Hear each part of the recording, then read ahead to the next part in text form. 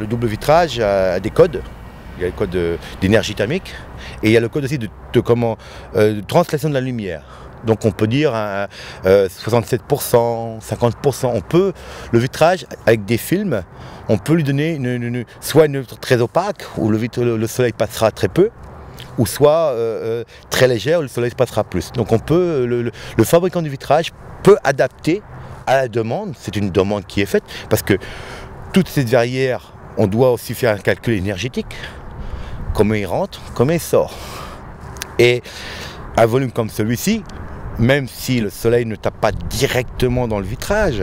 Il a été demandé ici d'avoir une couche solaire pour protéger justement des rayons du soleil. Et on casse un petit peu l'entrée de la lumière, donc ici je suis à 67% de translation de lumière à travers le vitrage. Donc 30% reste noir.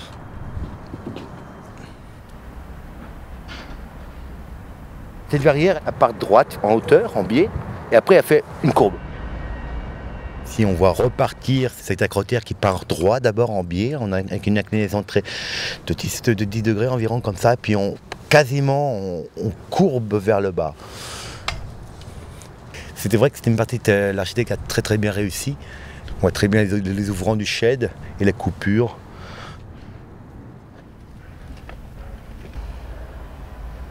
coupures. À l'époque, on a commencé cette verrière, il y avait encore deux grues de chantier, deux grues à tour, qui étaient fixées, une dans le bâtiment, ici, qui était quasiment rentrée dans le bâtiment. Elle était là depuis le début, elle appartenait aux grosses œuvres. avec ces deux grues que nous avons gardées, nous avons pu effectuer le montage des charpentes métalliques. Donc toutes les charpentes métalliques sont arrivées en morceaux ici sur la toiture. Deuxième phase, c'était nous, les vitriers. Donc on a mis tout le matériel avec les grues à tour sur la toiture ici. Il y avait une cinquantaine de pupitres de vitrage, je ne sais pas combien de caisses de métal de la charpente secondaire, des joints, il y en avait partout. Enfin bref, on avait rempli la terrasse de matériel.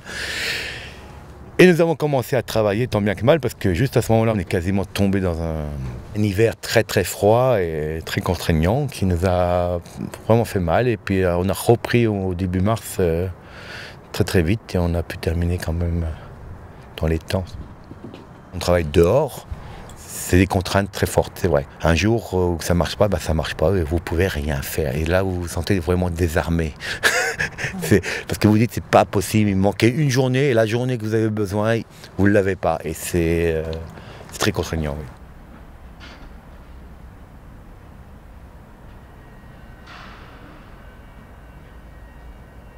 Nous sommes des industriels, bien sûr, mais on a quand même un avis esthétique, ça nous arrive de le donner aussi.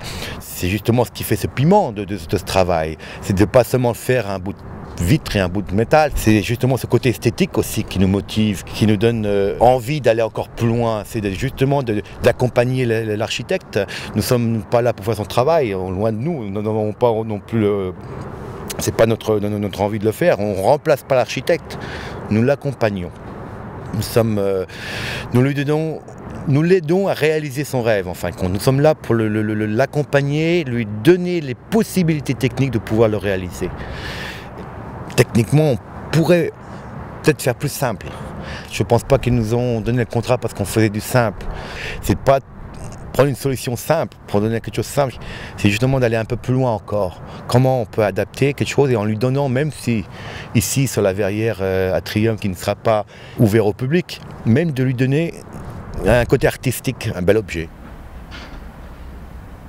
C'est nous ça, ce mariage de silicone, de verre, de tôlerie, qui, qui forme cette légèreté, cette planité de verrière.